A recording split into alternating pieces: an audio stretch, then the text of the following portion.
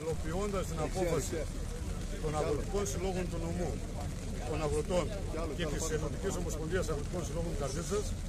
πραγματοποιούμε σήμερα αυτό που όλοι μαζί αποφασίσαμε να ανέβουμε στην αίθουσα του 65 για να διατανώσουμε την αγωνία που έχουμε ε, για το μέλλον μας αλλά συγχρόνως και τα, να ασκήσουμε πίεση στην κυβέρνηση να λύσει τα οξυμένα προβλήματα που έχουμε σήμερα και σήμερα. Ανταυτού βρήκαμε την κυβέρνηση, αντί να έρθουμε εδώ να συζητήσουμε και αυτό που ζητάμε να, να γίνει συνάντηση και με το Υπουργείο για να μας δώσει λύσεις σε αυτά τα προβλήματα, βρίσκουμε την κυβέρνηση για ακόμα μια φορά να στέλνει κλούδες στον ΜΑΤ, να κλείνει τον δρόμο,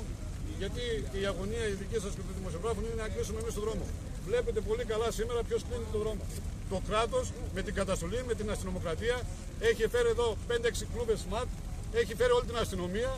οι οπαλιστές αγρότες βγήκαμε στον δρόμο για την αξιοπρέπειά μας να παλέψουμε για τη ζωή μας και για το μέλλον μας. Θα συνεχίσουμε να το κάνουμε, θα επιμείνουμε και θα επιμένουμε όσο μπορούμε να υλοποιήσουμε αυτή την απόφαση ε, και θα γίνει η σύσκεψη των αγροτών και όλοι μαζί θα αποφασίσουμε για τα επόμενα βήματα που θα κάνουμε.